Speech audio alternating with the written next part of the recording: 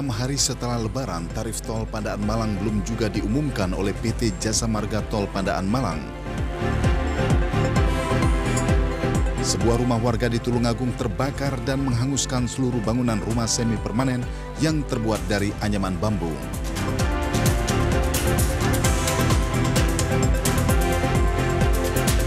Seleksi bersama masuk perguruan tinggi negeri SBMPTN mulai dibuka tanggal 10 Juni hingga tanggal 24 Juni 2019 mendatang secara online.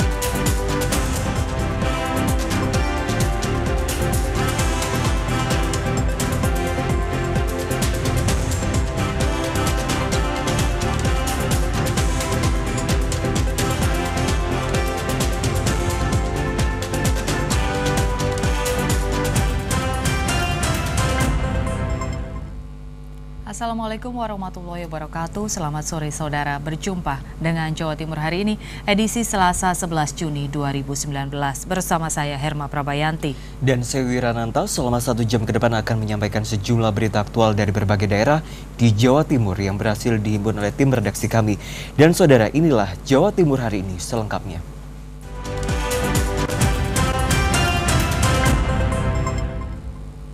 Kami awali informasi dengan dua hari pasca cuti libur Lebaran 1440 Hijriah. Suasana arus lalu lintas di jalur utama Bojonegoro arah Babat Lamongan hari ini terpantau normal. Kepadatan kendaraan yang terjadi selama arus mudik dan balik lebaran sudah jauh berkurang, bahkan kembali lancar layaknya hari biasa. Kondisi normal ini sudah terpantau sejak Senin sore atau hari pertama pasca cuti libur lebaran kemarin. Arus kendaraan dari arah Bojonegoro Bapat maupun sebaliknya terpantau lancar layaknya hari biasa. Seperti terlihat di sekitar pintu perbatasan Lamongan Bojonegoro, tepatnya di wilayah Desa Kalisari, Kecamatan Baurno. Wilayah yang sebelumnya menjadi titik kemacetan saat ini terlihat lebih lengang. Lalu lalang kendaraan masih didominasi pengguna roda dua dan mobil pribadi, terutama yang menuju ke arah Surabaya. Berdasarkan pantauan sepanjang hari ini, titik kepadatan arus kendaraan hanya terjadi di beberapa pertigaan dan perempatan jalan, dan itu pun tidak sampai menimbulkan antrean kendaraan seperti dua atau tiga hari yang lalu. Seperti terlihat di sekitar pertigaan Pohwates, Kecamatan Kepoh Baru, Bojonegoro. Antrean kendaraan di pertigaan tanpa traffic light ini hanya terjadi sesaat, ketika ada kendaraan yang hendak berbelok atau bis dan angkutan umum berhenti untuk menurunkan penumpang. Kondisi serupa juga terlihat di perempatan Proliman Kapas kilometer 5 perempatan Balen, kilometer 10 perempatan Sumberjo, kilometer 15 serta pertigaan Baurno di kilometer 25. Meski hari ini arus lalu lintas sudah normal bagi pengguna jalan yang hendak melintas dihimbau untuk tetap waspada dan hati-hati sebab di jalur utama Bojonegoro Babat Lamongan ini terdapat beberapa titik rawan kecelakaan.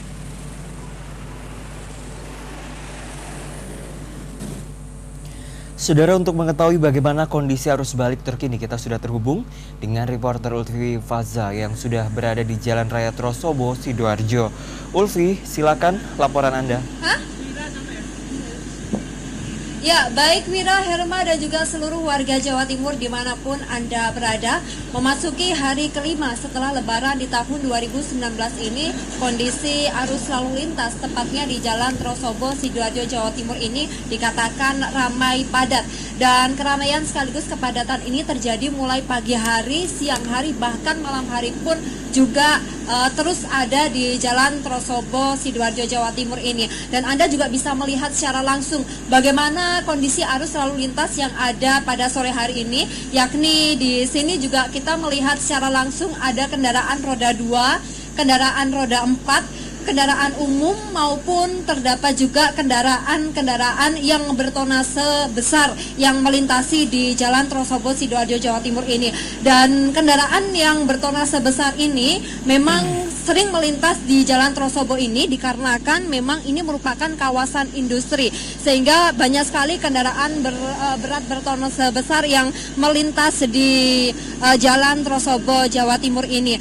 Dan tiga hari sebelum Lebaran sekaligus lima hari setelah Lebaran kendaraan bertona sebesar ini memang tidak diperbolehkan untuk melintasi Jalan uh, Trosobo Sidoarjo Jawa Timur ini dikarenakan memang di, uh, mengantisipasi apabila terjadinya kemacetan karena pasca lebaran kemarin memang banyak uh, para warga yang melakukan uh, kegiatan mudik ke daerah masing-masing. Namun untuk hari ini yakni hari Selasa ini kita bisa melihat secara langsung kendaraan berat bertona sebesar sudah melintas di Jalan Trosobo Sidoarjo ini dengan lancar dan juga tentunya ramai sekali kita bisa melihatnya.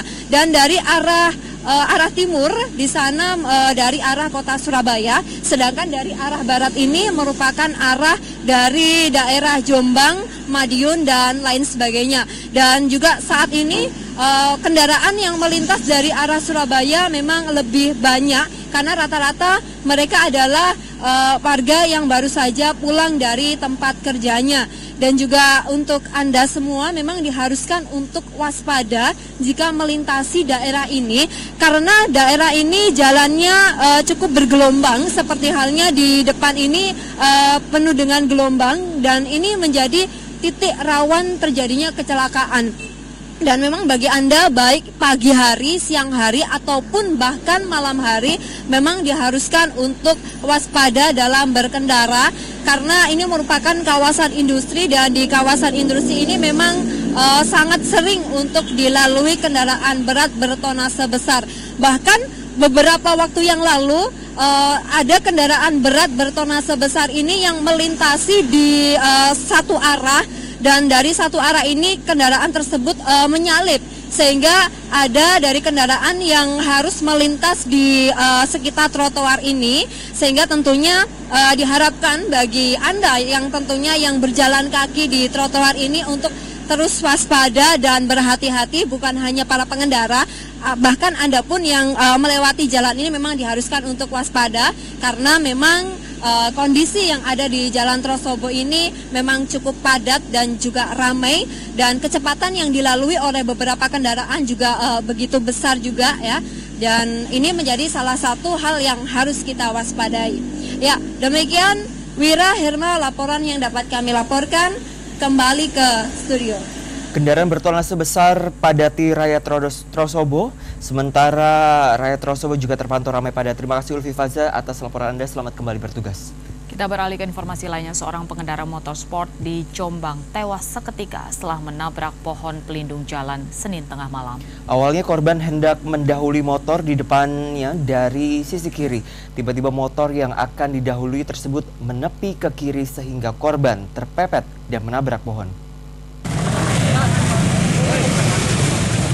Kecelakaan maut ini terjadi di jalur alternatif Mojo Agung menuju Kertosono, tepatnya di Jalan Raya Desa Bandung, Kecamatan Diwe, Jombang. Seorang pengendara motor Yamaha Fiction yang tewas dikerumuni warga. Korban diketahui pemuda berusia 27 tahun atas nama Hadi Prayitno, warga Dusun Sentanan, Desa Grogol, Kecamatan Diwe, dengan kondisi luka parah pada bagian kepala sehingga mengeluarkan banyak darah. Petugas dari unit Laka Satlantas Polres Jombang yang tiba di lokasi langsung mengevakuasi jasad korban ke kamar jenazah RSUD Jombang, sementara kondisi motor korban rusak parah. Saksi mata mengatakan kecelakaan terjadi saat korban melaju kencang hendak mendahului motor di depannya dari sisi kiri. Namun tiba-tiba motor yang akan disalip menepi ke kiri sehingga korban langsung terpepet dan menabrak pohon pelindung di kiri jalan raya. Kan hanya hanya suara sepeda normal terus nabrak sesuatu gitu aja kayak kayak bukan nabrak sih kayak kayak helm jatuh gitu. Jatuh. kayak helm jatuh terakhir di situ ya? ayo tuh posisi terakhir di saya setahu saya begitu saya keluar rumah udah rame orang di sini. Ya di sini tuh malah tadi kayaknya ada lampunya masih nyala kok lampunya motor saya begitu keluar masih nyala gitu Akibat tertabrak motor, korban terdapat bekas pada pohon pelindung jalan sehingga motor korban terpental cukup jauh bersama pengemudinya. Motor korban yang rusak parah dievakuasi ke Mako Lantas Polres Jombang.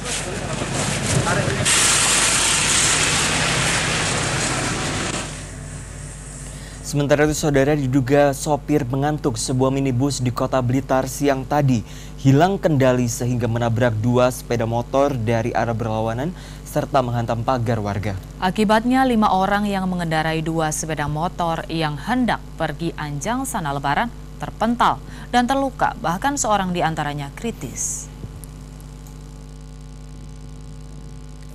Kecelakaan ini bermula saat minibus berjalan dari arah timur menuju ke barat. Tiba-tiba hilang kendali hingga melaju di jalur berlawanan.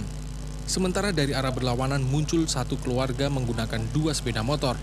Hingga tabrakan tidak bisa dihindarkan. Sementara itu minibus yang hilang kendali juga menabrak pagar rumah warga. Awalnya ya itu ada itu loh Avanza dari timur ke Oleng lalu nyasar ke ke utara terus nyantap dua sepeda motor itu itu enggak enggak dikurangi kecepatannya ada? dor dor dor dor dor gitu. saya tahu itu sudah dor itu yang sepeda motornya yang sekupi itu di bawah mobil. Mobil Avanza itu. Jadi saya ya bingung gitu loh. Satlantas Polres Blitar Kota yang datang ke lokasi langsung melakukan olah TKP dan mengevakuasi kelima korban ke rumah sakit.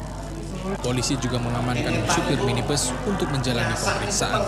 Dan pengakuan awal dari pengemudi dia uh, hilang konsentrasi karena bannya meletus. Jadi itu untuk pengakuan awal. Untuk korban dari pengemudi sepeda motor ini sudah kami bawa ke rumah sakit Mahdi Waluyo untuk mendapatkan perawatan. Nah, saat ini uh, untuk kejadian laka ini masih dalam penanganan dan tahap pemeriksaan untuk pengemudinya dan saksi-saksi masih kami lakukan pemeriksaan. Kini kelima korban menjalani perawatan intensif di Rumah Sakit Budi Rahayu, Kota Blitar. Sementara seorang korban yang kritis mengalami gegar otak akibat benturan. Sedangkan kasus ini dalam penanganan petugas lantas Polres Kota Blitar. Dari Blitar, Langkah Bahtiar melaporkan. Hingga enam hari setelah lebaran, tarif tol Pandaan Malang belum juga diumumkan oleh PT Jasa Marga Tol Pandaan Malang. Pasca diresmikan Presiden Jokowi pada tanggal 13 Mei 2019 lalu, tol Pandaan Malang digratiskan selama arus mudik dan balik lebaran 2019.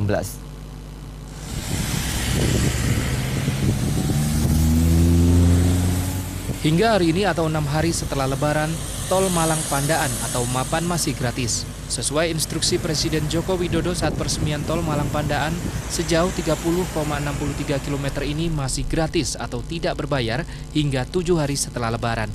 Namun hingga kini tarif resmi tol Mapan dari PT Jasa Marga belum juga keluar dan masih menunggu keputusan dari pusat, yakni Kementerian Pekerjaan Umum dan Perumahan Rakyat.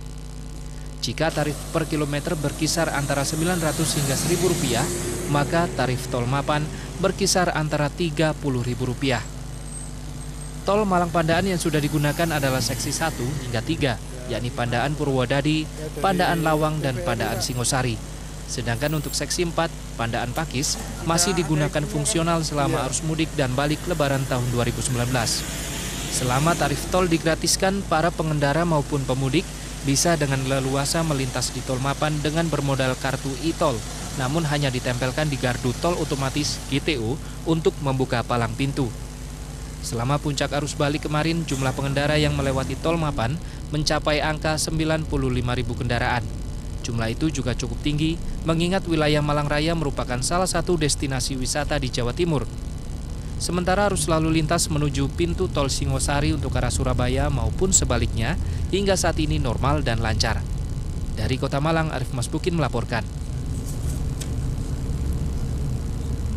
Saudara kita beralih ke informasi lainnya, seleksi bersama masuk perguruan tinggi negeri SBMPTN mulai dibuka pada tanggal 10 hingga 24 Juni 2019 secara online. Para peserta seleksi yang telah mengikuti ujian tulis berbasis komputer atau UTBK dapat mendaftar maksimal dua program studi di universitas negeri pilihannya. Dalam seminggu ini bisa jadi menjadi hari-hari yang sangat menyibukkan bagi sejumlah siswa didik yang baru saja lulus dari sekolah menengah atas untuk mendaftar sebagai mahasiswa baru di sejumlah perguruan tinggi negeri di tanah air.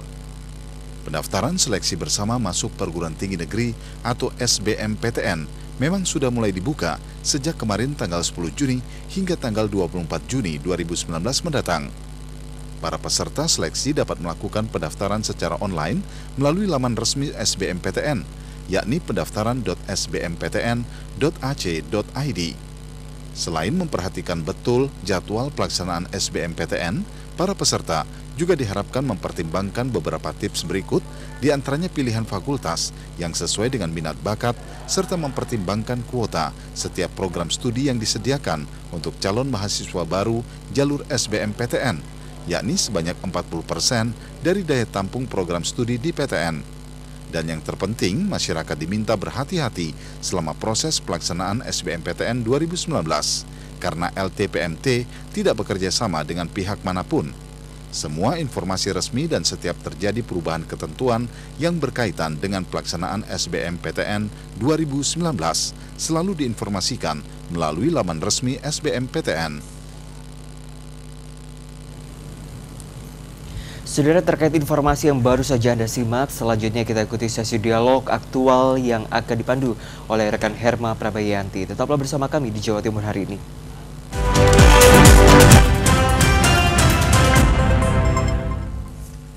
Saudara, sore hari ini kita akan membahas tentang seleksi SBMPTN 2019 dan merujuk pada Permenristek Dikti tahun 60 ta eh, maksud kami nomor 60 tahun 2018 yang menyebutkan bahwa minimal kuota yang harus dibuka pada seleksi masuk perguruan tinggi adalah sebesar 40 persen. Hal ini sontak membuat para calon mahasiswa harus berlomba-lomba untuk mendapatkan nilai tertinggi melalui tes atau ujian tulis berbasis komputer. Mereka bahkan diberikan kesempatan dua kali melakukan ujian tes atau seleksi tersebut. Dan untuk mengetahui hal itu lebih mendetail, kami sudah mengundang salah satu narasumber yaitu Ketua PPMB dari Universitas Airlangga Surabaya dengan Solikin. Ya. Selamat sore Pak Solikin. Selamat sore Mbak Irma. Sedang berjumpa kembali, terima kasih ya. sudah hadir. Kita masih membahas tentang bagaimana paniknya para orang tua dan calon mahasiswa yang ingin mendapatkan sekolah atau studi lanjut di universitas-universitas terbaik, perguruan tinggi ya. terbaik di Indonesia. Salah satunya di Universitas Airlangga. Ini ada sistem baru, membuat masyarakat panik bukan hanya orang tua, tapi calon mahasiswa yang sudah beranjak dewasa. Mereka mulai panik, sudah mengantongi nilai tapi entah harus bisa berkuliah di mana. Bisa dijelaskan seleksi yang uh, ada ya. tahun ini? Ya, baik untuk seleksi penerimaan mahasiswa baru ya khususnya SBMPTN seleksi bersama itu memang ada perubahan dari ya. tahun 2018 atau sebelumnya. Kalau dulu itu mereka mendaftar kemudian ikut tes baru kemudian ditentukan ditentukan diterima atau tidaknya. Tetapi tahun 2019 ini mereka itu ikut tes dulu, kemudian dapatkan nilainya, baru kemudian eh, mereka bisa memilih ke program studi yang yang ada. Itu semuanya sekarang di dikoordinir oleh itu lembaga tes masuk perguruan tinggi LTMPT gitu ya. Oke, ada ya. uh, sudah dikoordinir, sistemnya sudah mulai disiapkan. Tapi ya. karena ini baru pertama kali, ya. otomatis masih banyak koreksi-koreksi. Pendaftaran dimulai 10 Juni, tapi masih banyak masyarakat yang sudah memberi uh, calon mahasiswa yang sudah ya. mengantongi nilai, tapi belum tahu mereka harus mendaftar uh, ke mana? Tipsnya seperti apa, Pak? Ya, gini, memang sekarang ini uh, agak berbeda. Kalau dulu hmm. kita kan tidak tahu nilai nilai saya iya. berapa ya. gitu ya. Ya, sekarang mereka ikut tes kemudian tahu. Uh, yang menjadi persoalan adalah dengan nilai yang sekian itu, yang diperoleh hmm. itu kemudian kira-kira hmm. yang mempunyai peluang untuk diterima di program studi apa di perguruan tinggi hmm. mana hmm. itu yang yang yang masih menjadi pertanyaan dari masyarakat cuman ya memang karena ini baru pertama ya. kali sehingga eh, masyarakat belum bisa mendapatkan informasi secara lengkap terkait dengan kira-kira program studi ini nilainya yang rata-rata bisa hmm. masuk ke ya yang mempunyai peluang untuk diterima itu berapa itu memang belum ada baseline-nya itu yeah. belum ada mungkin tahun de depan tahun 2020 berdasarkan sudah ada parameternya sudah ada ya, parameternya ukurannya kira-kira saya kalau masuk ke program studi ini punya peluang atau tidak hmm. dan lain sebagainya itu yang eh, yang selama ini masih menjadi uh, pertanyaan dari masyarakat gitu pertanyaan ya. Pertanyaan dari masyarakat tapi yang menarik saya uh, agak flashback ke statement Bapak tadi ada yeah. informasi yang yeah. beredar di masyarakat dan justru sekarang informasi yang beredar sudah banyak pagus skor ah, Universitas yeah. Prodi A yeah. kemudian skornya 700 yeah. sekian. Nah, itu dari mana?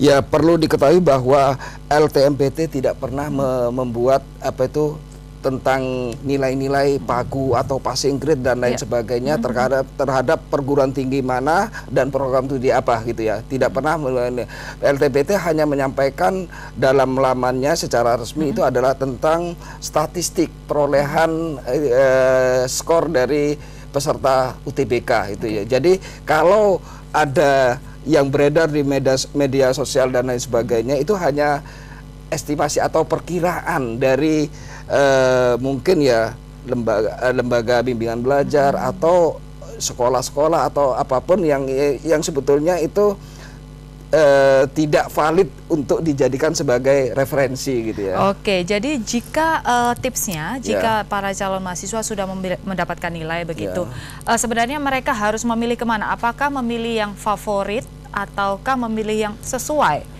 dengan dirinya? Seperti apa Mungkin sebenarnya? eh, sebagai eh, sebagai tambahan informasi ya, eh, meskipun tadi tidak ada nilai yang yang yang ini karena Pagunya memang bulan tidak ada, eh, ha? tidak ada, barangkali kita peserta itu Ya. bisa melihat dari tingkat keketatan yang tahun lalu gitu ya. Tingkat keketatan lalu daya tampungnya berapa, Mm-hmm. pesertanya tahu eh, berapa di situ dengan asumsi bahwa semakin ketat atau semakin banyak pesertanya itu maka tingkat persaingannya akan semakin tinggi. Otomatis nilai yang dibutuhkan juga semakin eh, tinggi juga gitu ya. Berarti eh, para sebagai calon mahasiswa itu. itu, harus em, melihat evaluasi tahun lalu Eh, ta- dan tahun lalu, kuota. ya. Informasi terkait dengan kuota-kuota Ya. yang dimiliki oleh tiap prodi Ya. di perguruan tinggi negeri itu kita bisa dapat di mana? Ada di lamannya LTMBT. Seluruh informasi tersebut Seluruh ada itu di laman. ada itu. Tingkat keketatan masing-masing perguruan tinggi, masing-masing program studi yang ada itu ada.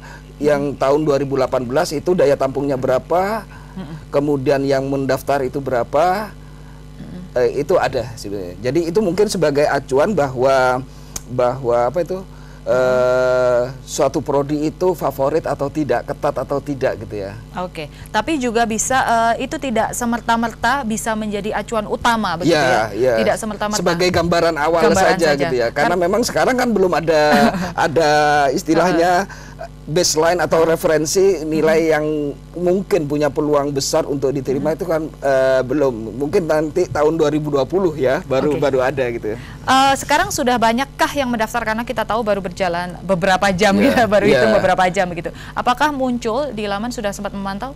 Eh, se- eh, sementara ini masih terus bergerak, cuman eh, pastinya itu ini, cuman eh, ini memang pergerakan pergerakannya itu eh, masih agak lambat Baik, ya. kita jeda dulu Ya. karena ada azan maghrib. Baik, pemirsa warga Jawa Timur, kita harus jeda dulu sejenak kita dengarkan kumandang azan maghrib. Ya.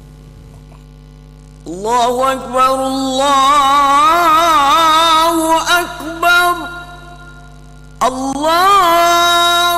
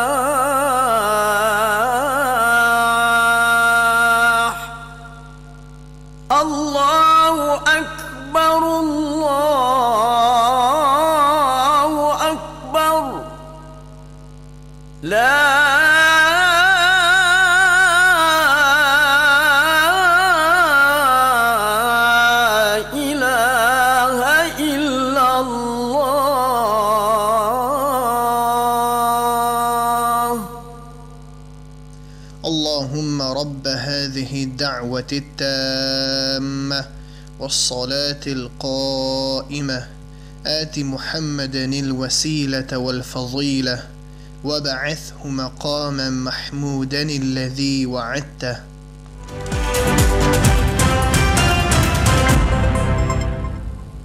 Kita lanjutkan dialog aktual dalam Jawa Timur hari ini masih bersama saya Herma Prabayanti dan juga narasumber Solihin Ketua PPMB Unair Surabaya Pak Solihin kita Ya. lanjutkan tadi sempat terputus Ya. dan eh, masyarakat biasanya kalau sudah mendaftar yang dibingungkan adalah faktor biaya. Nah, bagaimana sistem pembiayaan?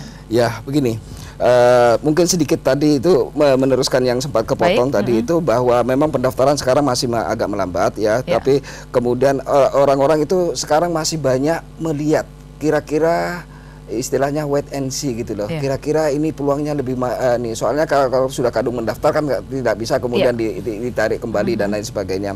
Itu itu yang masalah pendaftaran. Masalah pembiayaan, masalah pembiayaan itu sebetulnya eh, perguruan tinggi itu sudah menetapkan berdasarkan UKT, uang kuliah tunggal. Yang besarannya itu tergantung dari penghasilan orang tua. Kalau mereka itu adalah eh, penghasilannya tinggi, maka dia akan dikenakan pada kelompok SPP apa UKT yang yang tinggi gitu ya. Kalau mereka itu kemudian pendapatannya menengah ya mungkin di kelompok yang menengah. Bahkan kemudian ada yang eh, kita itu eh, UKT yang ada kalau di Universitas Erlangga itu ada yang UKT 1 yang bayarannya cuma 500 ribu sampai 1 juta gitu ya. Ah, tapi ada juga yang besar. Itu semuanya berdasarkan penghasilan dari orang tua. Banyak rumor atau berita yang beredar bahwa eh, kuliah di UNER sekarang sangat fantastis harganya bahkan hingga eh, puluhan juta rupiah begitu. Ya. Eh, bagaimana? Ya, rumor yang seperti itu kan kadang-kadang memang ada suatu hal yang besar itu itu semakin menarik. Padahal yang UKT ya, UKT yang UKT kalau di UNER itu UKT tertinggi itu adalah UKT 4 itu yang ini hanya 8% Ya. dari seluruh mahasiswa yang ada. Hanya 8%. Hanya 8% gitu ya. Itu pun sebetulnya tidak terlalu mahal ya, tidak terlalu mahal gitu ya. Itu pun eh, sebetulnya kan pro, eh, apa itu UKT itu kan juga subsidi silang ya. Subsidi silang antara yang berpenghasilan tinggi dengan yang tadi hanya cuman 500 ribu bahkan sampai dengan satu juta. Itu yang kelompok itu jadi kalau statistik itu mencengnya menceng ke kiri ya yang yang kanan itu yang kelompok empat itu hanya sedikit saja gitu. Eh, terus terang ya kalau masalah pembiayaan kita tetap eh, UNER tetap eh, ini ya yang rumor di masyarakat yang mungkin perlu disampaikan bahwa kadang-kadang orang-orang itu mengatakan bahwa kalau bayar berani bayar tinggi maka peluang untuk diterima di UNER itu Tinggi. tinggi itu sama sekali salah gitu Salah. ya. Yang Ya, penting salah nilai. itu. yang penting itu adalah dasarnya adalah nilai Oke. kemudian kalau ada pembiayaan-pembiayaan lain itu adalah beritanya hoax gitu ya yang pasti apa itu biaya studi itu sudah tercantum dalam lamannya Universitas Airlangga, dalam lamannya PPMB itu untuk misalkan kedokteran yang paling liana kan kedokteran. Kedokteran itu untuk jalur mandiri itu hanya uang istilahnya SP3-nya atau UKA-nya itu hanya 99 juta. Oke. Dengan SPP sebesar 15 juta gitu ya. Itu yang kelompok paling tinggi gitu ya. Itu yang ini. Kemudian ada rumor misalkan bayar sekian ratus juta, ratus juta itu sebetulnya adalah hoax gitu ya. Baik. Itu sudah dikonter bahwa pembiayaan di UNAIR eh, sangat terbuka begitu ya Sangat sudah terbuka, sudah, bisa ini bisa itu me- melihat di lamannya kami gitu ya, bisa melihat di lamannya kami. Baik, banyak informasi di laman eh, Unair dan laman yang terbuka informasinya untuk Hmm. masyarakat begitu. Namun ternyata banyak orang tua dan calon mahasiswa yang masih bingung begitu. Ya. Sebenarnya apakah sosialisasi terkait dengan SBMPTN tahun 2019 ini sudah dilakukan secara masif khususnya yang dilakukan oleh tim dari Unair? Ya, se- secara pusat itu bahwa eh, apa itu LTMPT itu juga bekerja sama dengan TVRI melakukan sosialisasi di seluruh Indonesia terkait dengan UTBK eh, kemudian juga dengan berbagai humas-humas dari perguruan tinggi juga melakukan sosialisasi termasuk juga di Universitas Erlangga juga melakukan sosialisasi. Eh, cuman yang sering kali itu eh, ini eh, sering kali itu masyarakat lebih iya apa ya lebih cepat me- kalau saya sebutkan mohon maaf ya lebih percaya kadang-kadang dengan isu-isu di media sosial Hmm, itu ya. katanya katanya gitu. Padahal kalau kita sudah memberikan ini sosialisasi lewat media massa dari kemudian T- eh, TVRI dan lain sebagainya itu untuk penjelasan bagaimana UTBK itu bagaimana itu SBMPTN itu.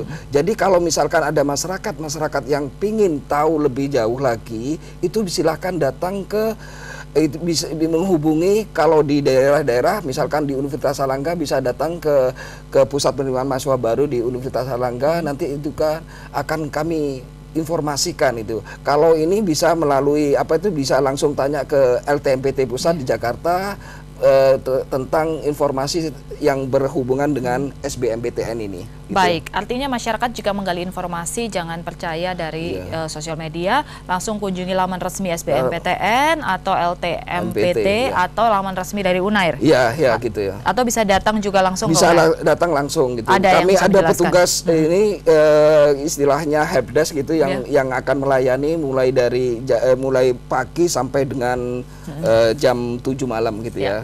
Oke, mulai pagi hingga jam 7 malam Iya. bisa masyarakat. Yang terakhir, Oke. unsur titipan. Ah. Nah, rumor itu selalu ada. Bagaimana Ya. komitmen Unair? Ini tetap UNER itu dengan ininya motonya itu excellent with morality artinya Excellent with eh, morality. artinya bahwa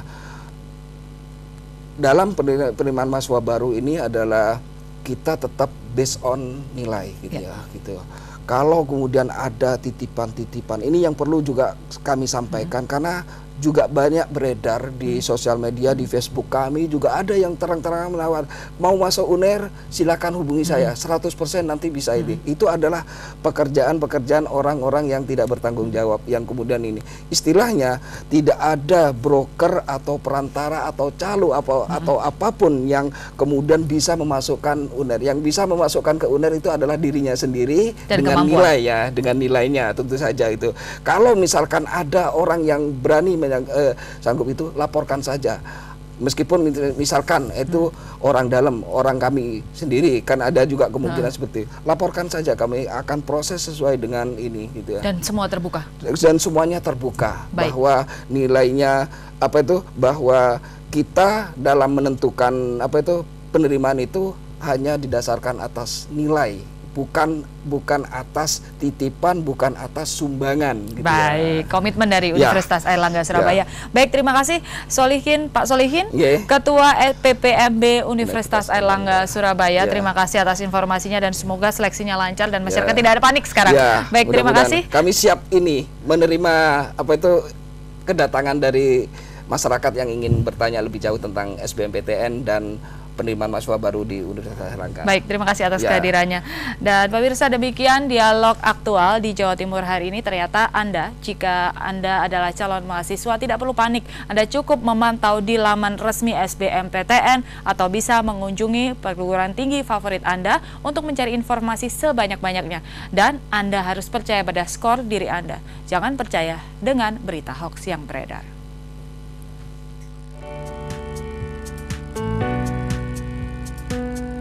Berkembangnya kemajuan teknologi turut memacu peningkatan kualitas sumber daya manusia.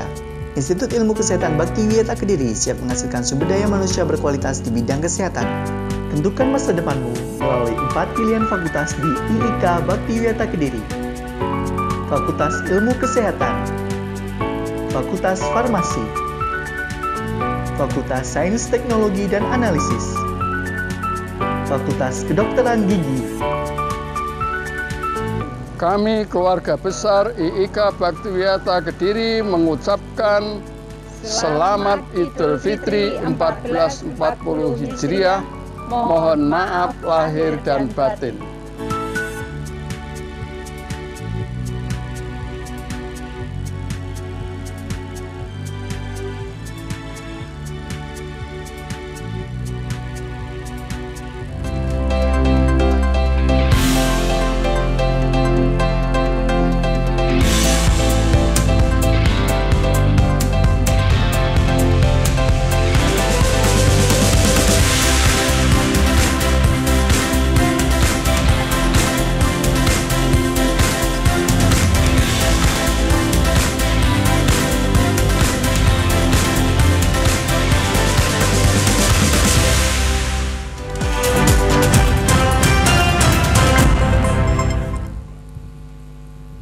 Diduga akibat hubungan arus pendek listrik, dua kios pasar tradisional Bagor, Kabupaten Nganjuk dini hari tadi terbakar. Banyaknya barang yang mudah terbakar membuat api dengan cepat meludeskan barang-barang yang ada di dalam kios. Dua kios di Pasar Bagor, Kecamatan Bagor, Kabupaten Nganjuk, ludes dilalap api. Dua kios tersebut milik pedagang sembako dan satu lagi kios pedagang sate.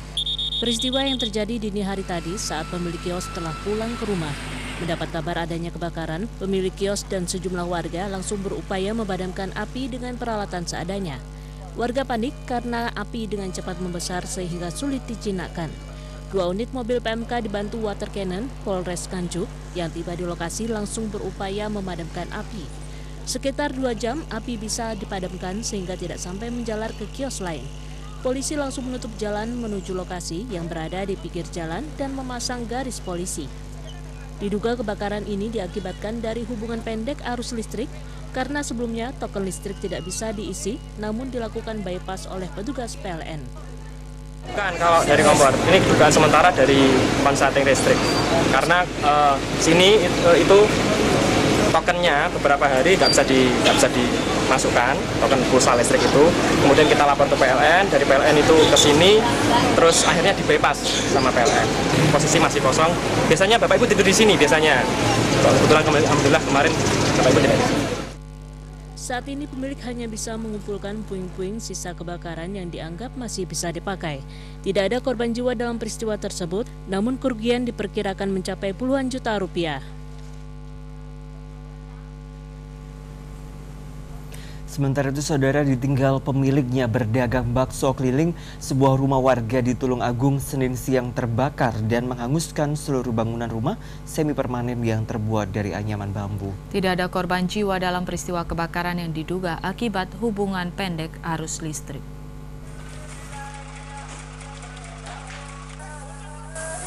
Rumah Samsul Hadi di Dusun Kerajaan Desa Mojosari, Kecamatan Kauman, Tulungagung, ludes dilalap si jago merah. Api terus berkobar membakar seluruh bangunan rumah semi permanen yang terbuat dari anyaman bambu. Warga sekitar lokasi kebakaran tidak bisa berbuat banyak dan api terus berkobar karena rumah tersebut dalam keadaan kosong ditinggal Samsul Hadi berdagang bakso keliling. Akibat hembusan angin yang kencang, dalam waktu sekejap, api meluluh hantakkan seluruh bangunan rumah tanpa tersisa.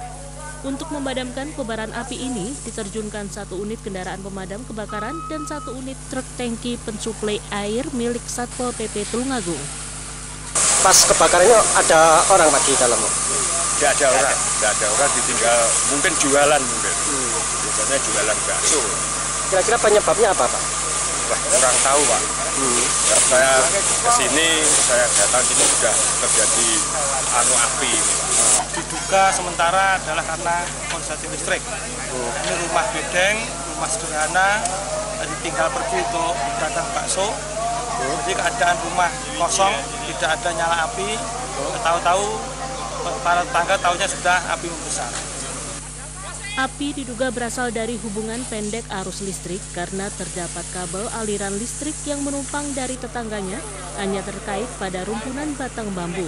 Tidak ada korban jiwa kejadian ini, namun diperkirakan pemilik rumah menderita kerugian hingga puluhan juta rupiah.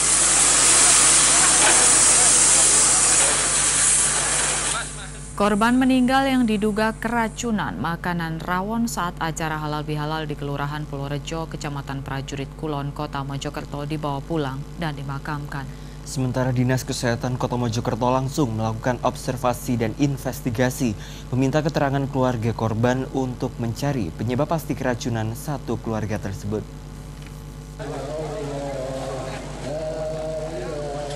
Setelah dibawa pulang dari Rumah Sakit Sakinah, Kecamatan Suko, Kabupaten Mojokerto, Wagimin usia 63 tahun korban meninggal yang diduga karena keracunan makanan rawon langsung dimakamkan. Puluhan warga sekitar melayat jenazah yang dimakamkan di pemakaman umum kelurahan setempat. Pasca peristiwa keracunan satu keluarga ini, Dinas Kesehatan Kota Mojokerto mendatangi rumah korban meminta keterangan kepada keluarga yang lain dan melakukan observasi serta investigasi penyebab keracunan. Setelah melakukan observasi awal, Kepala Dinas Kesehatan Kota Mojokerto, Kristina Indah mengatakan pihaknya menduga korban meninggal karena penyakit jantung. Pada saat akan pergi rekreasi setelah acara halal bihalal korban sudah mengeluh sakit. Kami melakukan investigasi atau penyidikan epidemiologi tentang kronologis, kemudian kemungkinan apa yang dimakan, dari sajian itu berapa orang yang makan, berapa orang yang diare. Ternyata yang diundang hampir sekitar 80 orang. Yang diare hanya tujuh orang. Jadi ya, jadi kemungkinan untuk menyampaikan bahwa e, keracunan karena makanan sajian e, dalam hal ini rawon itu belum bisa dipastikan. Seperti diberitakan, lima orang yang masih dalam satu keluarga warga Kelurahan Pulau Rejo, Kecamatan Prajurit Kulon, Kota Mojokerto, mengalami keracunan setelah makan rawon saat acara halal bihalal sebuah perusahaan sepatu. Dari lima anggota keluarga, satu di antaranya meninggal dunia karena terlambat dibawa ke rumah sakit. Saudara kita beralih ke informasi lainnya, seluruh aparatur sipil negara di lingkungan pemerintah Provinsi Jawa Timur diharapkan mengerti rencana kerja yang telah ditetapkan oleh Gubernur dan Wakil Gubernur Jawa Timur. Hal tersebut dikatakan Gubernur Jawa Timur Khofifa Indar Parawansa saat berhalal bihalal dengan forum pimpinan daerah pagi tadi di Geraha di Surabaya. Gubernur dan Wakil Gubernur Jawa Timur telah menetapkan program kerjanya yang merupakan nawacita sebagai upaya untuk meningkatkan kesejahteraan masyarakat. Namun program kerja ini tidak akan berhasil bila tidak ada sinergi dengan seluruh aparatur sipil negara untuk menjalankannya. Hal ini dikatakan Gubernur Jawa Timur Kofifa Indar Parawansa pada acara halal bihalal Gubernur dan Wakil Gubernur Jawa Timur serta Ibu Arumi Bahsin dengan Forum Pimpinan Daerah se-Jawa Timur di Geraha di Surabaya. Untuk itu diharapkan seluruh aparatur sipil negara di lingkungan Provinsi Jawa Timur memahami program Nawacita tersebut dan dapat melaksanakannya dengan baik sehingga tujuan dari Nawacita tersebut tercapai. Karena ini kan Nawa Bakti ini yang kita usung pada saat kampanye, kita sampaikan ke DPRD, itu akan menjadi kristalisasi dari RPJMD. Mereka tidak boleh tidak paham. Jadi ini menurut kami adalah momentum yang sangat tepat di mana selain silaturahim, bermaaf-maafan, tapi kami juga bisa menjelaskan nawa bakti satya, terutama pada hal yang mungkin masih ada kekurang jelasan bagaimana membreakdown Jatim Harmoni dan Jatim Berkah. Tapi kita juga akan membangun satu uh, kesepahaman di dalam Nawa Bakti Satya tujuh aspek lainnya. Halal Bihalal Idul Fitri 1440 Hijriah dihadiri Bupati dan Wali Kota serta forum pimpinan daerah dari seluruh kabupaten dan kota di Jawa Timur. Diharapkan melalui halal bihalal kali ini dapat memperkokoh persatuan dan kesatuan bangsa serta menjaga toleransi antar umat beragama.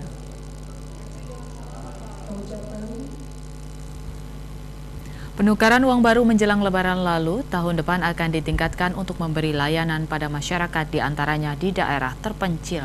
Hal itu dikemukakan oleh Kepala Perwakilan Bank Indonesia Provinsi Jawa Timur siang tadi saat halal bihalal di kediaman jabatan Bank Indonesia Jalan Raya Darmo, Surabaya.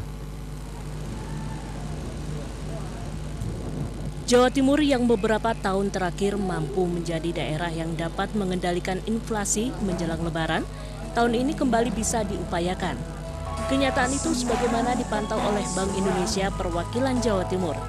Selain kemampuan mengendalikan inflasi, Bank Indonesia juga mengamati sekaligus memberikan pelayanan dalam mendukung budaya masyarakat menjelang lebaran yakni penukaran uang baru. Sistem yang dikembangkan tahun ini di antaranya mengarahkan masyarakat melakukan penukaran uang pada tempat yang disiapkan, di antaranya di Makodam 5 Brawijaya, Surabaya kami uh, menghargai masyarakat yang uh, antri ya uh, dan sekarang uh, mereka bisa uh, mendapatkan akses atau uh, tidak lagi di satu tempat tapi di tempat-tempat yang lain ya. Termasuk juga uh, peran perbankan uh, juga lebih baik uh, dalam uh, kemarin khususnya di jalan tol segala macam tidak hanya uang tunai tapi juga untuk top up ya, ya jelas ini lebih baik dari tahun-tahun sebelumnya. Tapi ke depan tentunya nanti kita akan evaluasi karena intinya kami ke depan kami ingin memperbanyak agar masyarakat makin gampang, khususnya di daerah-daerah terpencil untuk penukaran uang. Hal itu dikemukakan Kepala Perwakilan Bank Indonesia Provinsi Jawa Timur, Divi Ahmad Johansah, saat berhalal bihalal di kediaman jabatan Jalan Raya Darmo, Surabaya, yang dihadiri pimpinan bank di kota Surabaya dan Bank Indonesia dari Malang, Kediri, dan Jember. Teman-teman lain yang nggak bisa saya sebutkan, oh ya dari hotel ya, dari hotel di sini juga ada. Saudara pasca libur lebaran selama 9 hari, layanan pajak di Samsat Lumajang mengalami lonjakan yang cukup signifikan. Banyak wajib pajak yang antri selama berjam-jam mulai pagi hingga siang hari. Hari pertama masuk kerja, suasana di kantor bersama Samsat Lumajang tampak ramai dikerumuni banyak orang. Ratusan warga berdatangan untuk mengurus pajak kendaraan atau keperluan administrasi yang lain. Bukan cuma di dalam ruangan atau di pos-pos layanan, antrian warga juga terjadi di luar ruangan. Bahkan mereka rela antri menunggu di emperan karena banyaknya warga yang ingin mendapat pelayanan. Banyaknya warga yang datang ke kantor bersama Samsat ini usai libur lebaran selama 9 hari. Mereka datang tepat waktu karena khawatir kena denda jika terlambat melakukan pembayaran sesuai waktu yang telah ditentukan.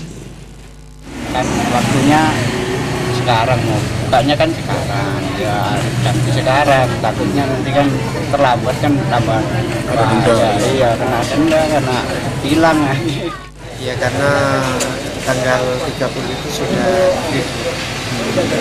hari ini baru buka ya? Iya.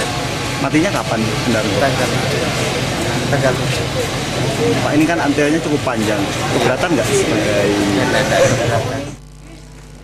Pasca libur lebaran ini Samsat memang memberi keringanan bagi wajib yang datang di hari pertama pelayanan, mulai dari bebas denda keterlambatan hingga penambahan jumlah petugas dan jam layanan hingga selesai. Dari Samsat Lumajang berupaya untuk melayani, melayani tanpa batas waktu sampai selesainya wajib pajak terlayani semua. Ada penambahan jam atau personil kira-kira? Kalau antara penambahan jam tidak ada, kita layani sampai dengan selesainya wajib pajak. Diharapkan wajib pajak membayar pajak tepat waktu sesuai dengan perpanjangan waktu yang telah ditentukan.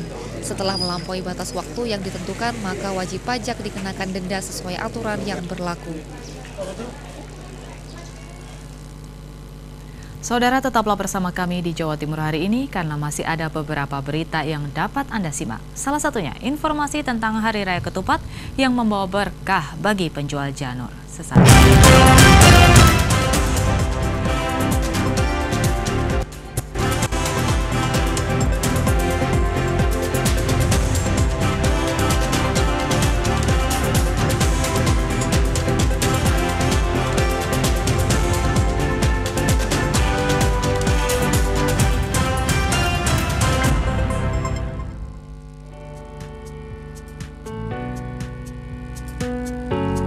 Berkembangnya kemajuan teknologi turut memacu peningkatan kualitas sumber daya manusia. Institut Ilmu Kesehatan Bakti Wiata Kediri siap menghasilkan sumber daya manusia berkualitas di bidang kesehatan. Tentukan masa depanmu melalui empat pilihan fakultas di IIK Bakti Wiata Kediri. Fakultas Ilmu Kesehatan, Fakultas Farmasi, Fakultas Sains Teknologi dan Analisis, Fakultas Kedokteran Gigi, Kami keluarga besar IIK Baktiwiata Kediri mengucapkan Selamat Idul Fitri 1440 Hijriah. Mohon maaf lahir dan batin.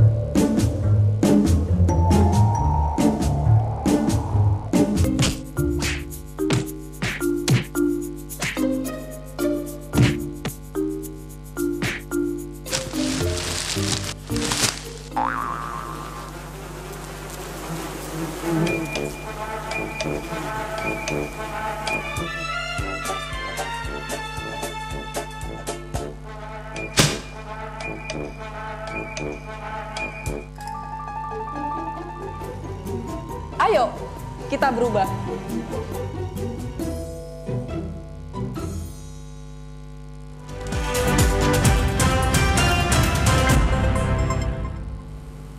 Saudara terima kasih Anda masih bersama kami di Jawa Timur hari ini. Momentum Hari Raya Lebaran telah berlalu, namun tradisi kupatan tampaknya masih tetap dijaga dan dilestarikan oleh warga muslim di Magetan. Hal tersebut disambut gembira oleh para penjual musiman yaitu Janur Ketupat yang saat ini menuai berkah melimpah karena barang dagangannya laris manis.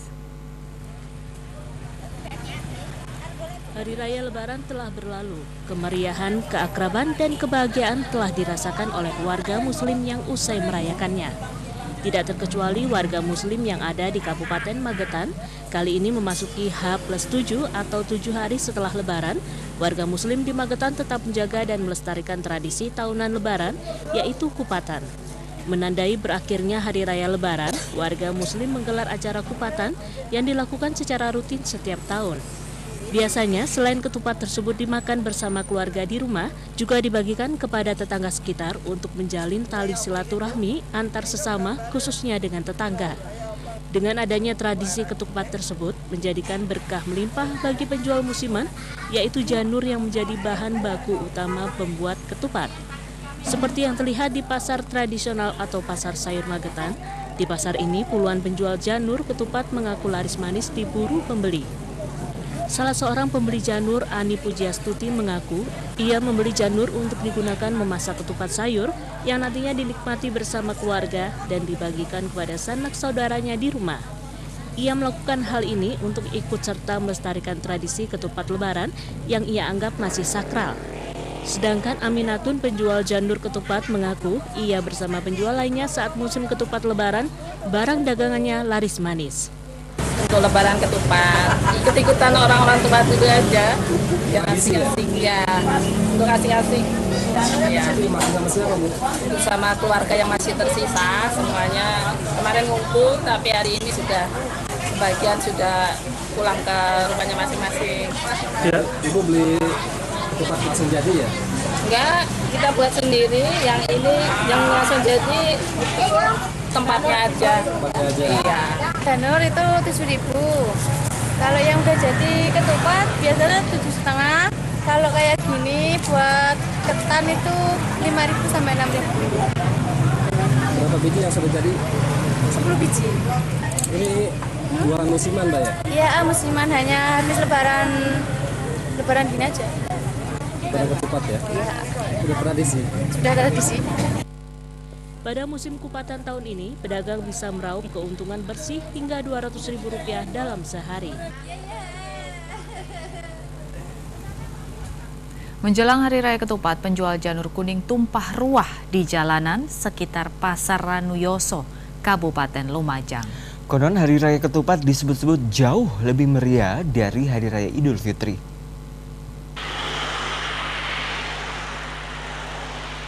Kabupaten Lumajang memiliki potensi sumber daya alam yang menawan. Salah satunya adalah banyaknya pohon kelapa yang tersebar mulai dari Lumajang sisi utara hingga pesisir pantai selatan. Pada momen Hari Raya Ketupat ini, banyak warga yang berjualan janur kuning. Mereka memenuhi jalanan di sekitar Pasar Ranuyoso, Kabupaten Lumajang. Bukan cuma satu, melainkan ratusan pedagang yang berjualan daun kelapa muda ini. Janur kuning dibutuhkan sebagai persiapan untuk membuat ketupat. Menariknya ada anggapan yang menyebutkan Hari Raya Ketupat atau Hari Raya ketujuh ini lebih meriah jika dibandingkan dengan Hari Raya Idul Fitri. Ini yang lebih meriah ini karena banyak janur mas di Hari Raya Ketupat ini mas daripada Hari Raya Idul Fitri.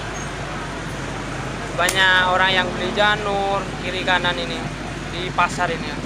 Saat ini janur kuning dihargai Rp500 per helai. Tidak jarang banyak pembeli yang membeli janur kuning mulai dari puluhan hingga ratusan helai atau lembar. Sebaliknya banyak juga janur kuning yang dijual sudah dalam bentuk selongsong ketupat. Tentu harganya lebih mahal dari janur kuning biasa.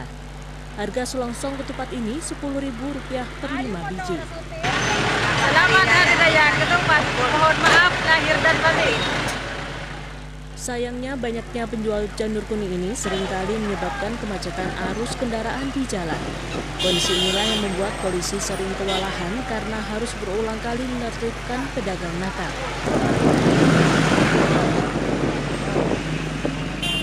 Saudara saat libur sekolah dan hari raya lebaran, tidak sedikit warga masyarakat yang memanfaatkannya untuk berkunjung ke lokasi wisata yang ada di Magetan. Kali ini para pengunjung bisa menikmati sejuknya udara yang berhembus di lokasi wisata Waduk Gonggang Magetan. Anda penasaran? Berikut liputannya. Momentum libur sekolah dan lebaran saat ini dijadikan warga masyarakat yang ada di Magetan memilih untuk mengunjungi lokasi wisata alam setempat. Pengunjung hanya membeli tiket seharga Rp5.000 untuk sepeda motor dan Rp10.000 untuk kendaraan roda 4 agar dapat menikmati sejuknya hembusan angin yang ada di lokasi wisata Waduk Gonggang. Waduk Gonggang yang berada di Desa Gonggang, Kecamatan Poncol, Magetan ini tampaknya selalu ramai dikunjungi oleh wisatawan, khususnya para pemudik yang pulang mudik saat hari raya lebaran ini. Waduk yang biasa digunakan sebagai bahan baku air PDAM maupun untuk mengairi lahan persawahan milik petani ini menjadi jujukan favorit para pemudik. Di lokasi ini pengunjung dapat menikmati embusan udara segar yang masih alami, juga berbagai wahana permainan dan taman bermain yang telah disediakan oleh pihak pengelola wisata Waduk Gonggang lewat Pok Darwis desa setempat. Salah seorang pengunjung yang pulang mudik dari Jakarta, Sahro mengaku baru kali ini ia bersama keluarga berkunjung ke lokasi wisata Waduk Gonggang Magetan. Ia mengaku penasaran dengan keberadaan lokasi wisata alam ini karena selama ini hanya dapat melihatnya di dunia maya atau sekedar di YouTube. Bagus dong. Bagus ini ya, bagus bener. Ini lagi pulang mudik atau gimana? Dok? Pulang mudik dari Jakarta. Sama keluarga? Sama keluarga. Terus baru kali ini apa Sering, baru kali ini. Baru lihat kali ini. Iya. Yeah. Ini libur lebaran atau mana, Pak? Ya libur lebaran daripada di rumah bengang, ya main-main sama anak cucu gitu aja. Ini rata-rata maksudnya dari mana aja nih, Mas? Dari daerah Wonogiri, Madiun, Ponorogo, Magetan, dan sekitarnya. Luar Magetan juga banyak? Banyak, Mas. Kalau tiket masuk Tiket masuk kalau sudah motor 5.000, mobil 10.000 nggak ada kenaikan nih mas? Nggak ada pak, sama sekali. Sementara itu pihak pengelola lokasi Waduk Gonggang akan terus berupaya menambah arena permainan maupun fasum lainnya untuk dapat menarik para pengunjung yang datang dari Magetan maupun dari luar Magetan. Dari Kabupaten Magetan, Yoni Setio Ramawanto melaporkan. Saudara informasi tadi mengakhiri rangkaian Jawa Timur hari ini dan seluruh berita tadi dapat diakses melalui aplikasi Klik TVRI. Saya Herma Prabayanti dan saya Wira Ananta mewakili seluruh kerabat kerja bertugas mengucapkan terima kasih atas perhatian dan kebersamaan Anda. Selamat petang. Wassalamualaikum warahmatullahi wabarakatuh.